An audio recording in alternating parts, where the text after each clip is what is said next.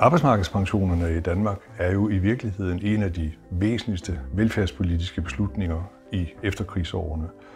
De giver øh, de ældre en meget stor økonomisk tryghed, og de giver de yngre øh, en meget stor sikkerhed for at undgå generationsrøveri.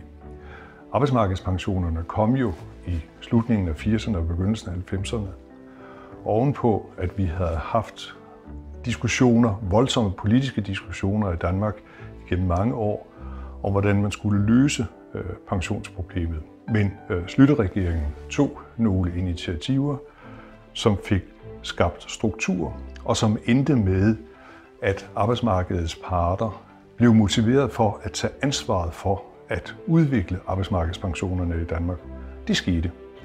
Jeg var selv med øh, til at udvikle arbejdsmarkedspensionerne på arbejderområdet som næstformand i KTU, øh, som for den kommunale sektor lavede de første aftaler øh, i 1989. Jeg var på det tidspunkt øh, direktør i DJØF og dermed i JØP, altså pensionskassen for jurister og økonomer, og var en meget stærk tilhænger af, at der blev fundet en opsparingsbaseret ordning for resten af arbejdsmarkedet.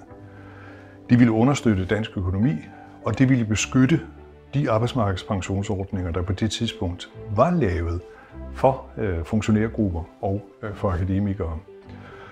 Efter at den kommunale sektor havde lavet øh, forliget i 89, tvang man staten til at lave tilsvarende forlig, og så i 91 begyndte etableringen af arbejdsmarkedspensioner at rulle øh, på det private arbejdsmarked.